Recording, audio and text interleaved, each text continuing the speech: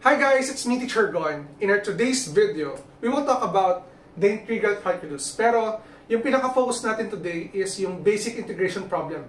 Ang different nga lang dito is I included um, radical expression or radical sa mismong problem natin. We have number 1, number 2, and number 3. So marami kasi nagre-request sa mismong YouTube comments at YouTube, uh, sa Facebook post ko na mag-create para ako ng mas maraming integral calculus videos. At ito na yung first natin guys for this school year or this year 2022.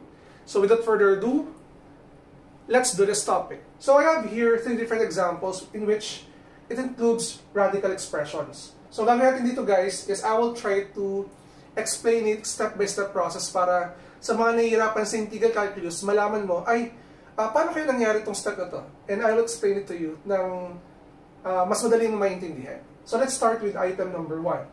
Um, sabi nito, integrate each of the following. So ito ay ano to guys ha, indefinite integral to. We have the integral of the square root of x dx. So ano yung first step natin to solve this kind of problem? Ako, ang first step ko dito is I will uh, express this radical expression yung ating square root of x into an exponential 1. So, if I'm going to write this in exponential form, it will become the integral of x raised to 1 half dx. Again, x raised to 1 half dx. Okay? Now, sir, paano na po yung next step natin dito, guys? So, dito, uh, yung mga problem natin, ng kalimitang rule lang na gagamitin natin is yung power rule. So, ano, sir, paano po ba yung power rule natin? Let's say, for example, you have here uh, the integral of x raised to n dx. Ang ating power rule to get the integral of this kind of given, simple lang naman. Ang gagawin mo lang mag-add ka ng 1, we have x raised to n plus 1 over n plus 1 plus c. Ito na mismo magiging sagot mo. At ito yung basic rule na gagamitin natin to solve or to find the integral, integral of the given examples here sa mismong board natin. So let's continue. Since meron ako ritong the integral of x raised to 1 half dx. At kung mapansin nyo, we only have the exponent of 1 half. We will apply this rule.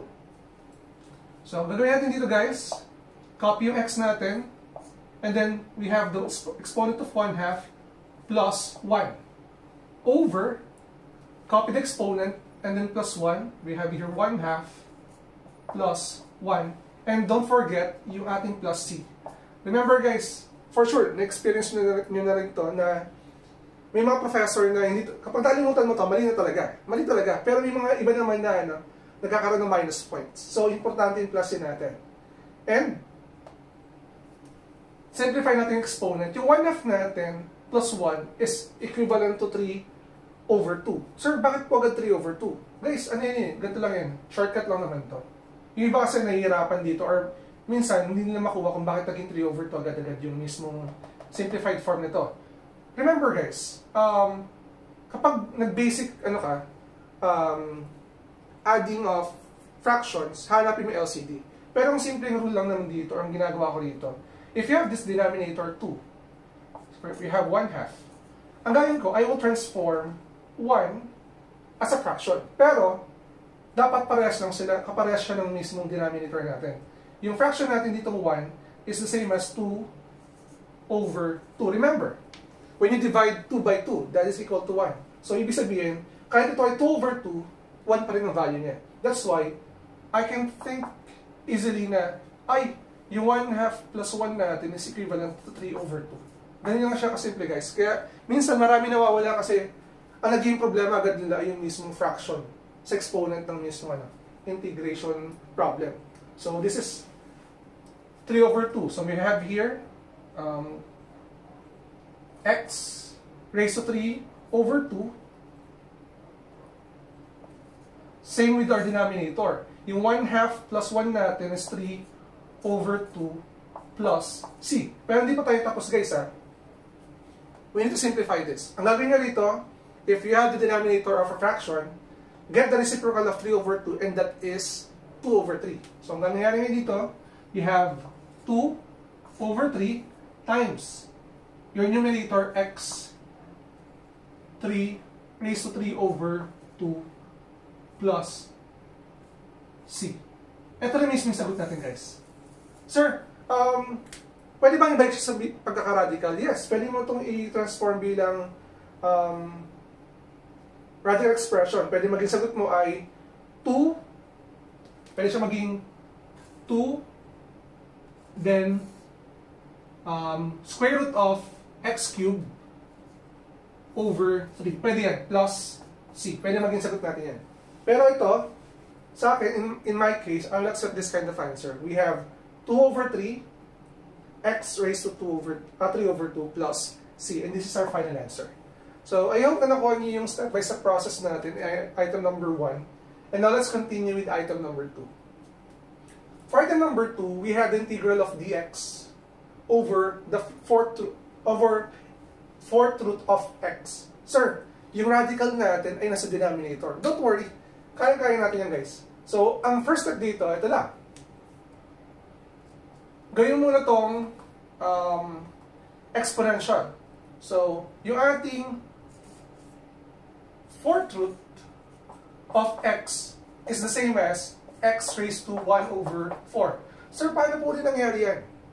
Yung index natin dito, it will serve as the denominator of your exponent.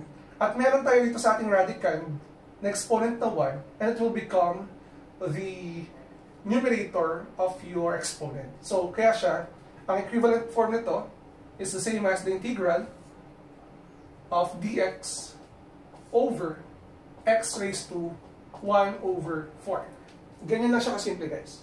Now, sir, what's next? Nasa denominator, denominator pa rin. So, ang gagawin natin ngayon is to um, put this denominator sa ating numerator. Ang mangyayari ngayon, magkakaroon tayo ng negative exponent. So, it will become the integral of x raised to negative 1 over 4 dx. At the next natin dito is to apply the power rule. We have the exponent of negative 1 over 4. So, ang gagawin natin ngayon, get the integral. It is equal to x raised to negative 1 over 4 plus 1, add tayo ng 1, as always, over your exponent which is negative 1 over 4 plus 1, at huwag kakalimutan si plus c. Yan. Now, sir, pwede ba natin i-apply shortcut na ginawa mo kanina sa pag-add ng exponent? Though negative yung isang exponent natin, yes. Ngayon, ang technique dito, isipin mo na yung denominator may 4. And this is a whole number, yung 1 natin. So isipin mo, that is 4 over 4. So we have negative 1 fourth plus 4 over 4, and that is positive, di ba? Tama ko, magiging positive siya. And that is x raised to 3 over 4, right? Kasi negative yung isa, negative 1 plus 4, that is 3 over 4. Over 3 over 4 plus c. And last step natin, last step natin is to get the, the reciprocal of 3 over 4, and that will give you the answer of 4 over 3 times x, or x raised to 3 over 4 plus c. And this is our final answer. Okay? So let's move on with item number 3. Medyo complicated to number 3 natin. For number 3, we have the integral of the of 3x squared plus square root of 5x plus 2 dx. So what will happen? Or ano yung first step natin dito? First step na gagawin ko dito is I will distribute dx. Okay? I will distribute dx tapos kukunin ko rin uh, kukunin ko yung integral ng bawat term. So, sir, paano po yun? So, we have 3x squared. So, what will happen here is we have 3, the integral of x squared dx. Sir, bakit po naging ganyan? Remember, kapag kumuha tayo ng integral, nilalabas natin yung mismo ano, constant. Minus square root of 5. Factor out ko itong dalawang to kasi constant si 5x, guys. Uh, square root of 5 integral of the square root of x natin, natin sila yung factor out or paghiwalayan and then dx here plus 2 constant siya integral of dx. Next step natin is to get the integral of each term. Dito, ang integral natin dito, pag natin to, this is 3 times. Nag-start na gumamit ng power rule. x squared, x squared plus 1 over. Gaya natin itong, yung, itong ating exponents. So, 2 plus 1. And as for this, we have here minus square root of 5. Huwag natin galawin yung minus square root of 5. Eh sir, paano po itong ating ano, itong ating square root of x? Gawin mo siyang exponential. Remember?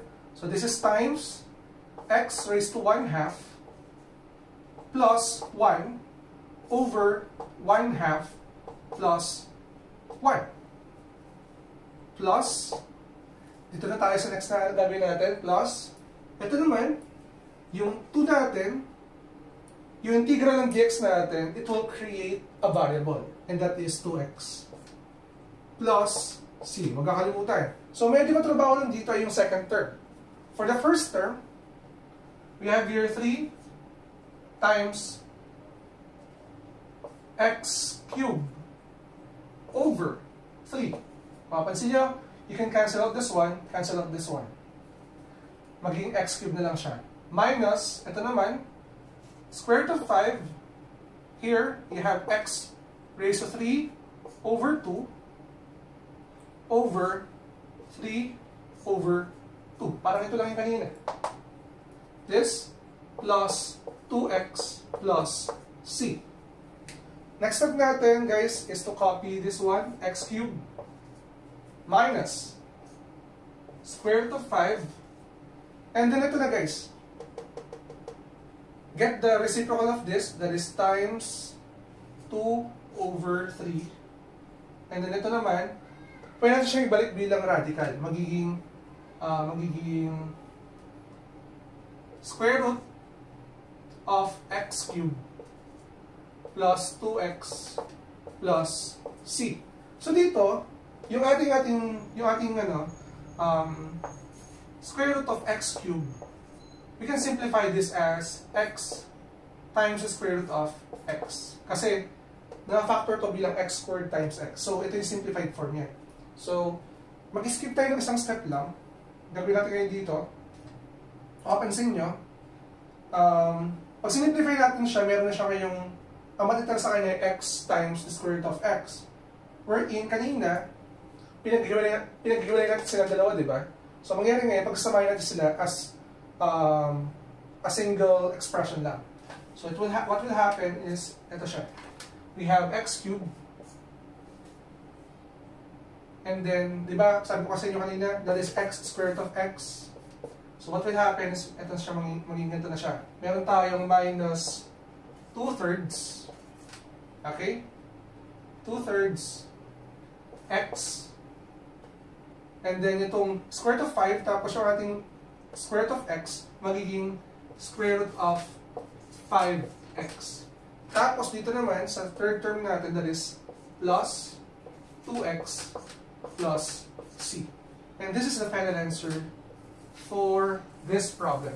I hope guys na sa mismong uh, step-by-step -step process natin, ay nakuha niyo yung mismong ano, process kung paano kunin yung integral or yung indefinite integral ng three different problems natin sa integration. So, I hope na nakuha nyo nga.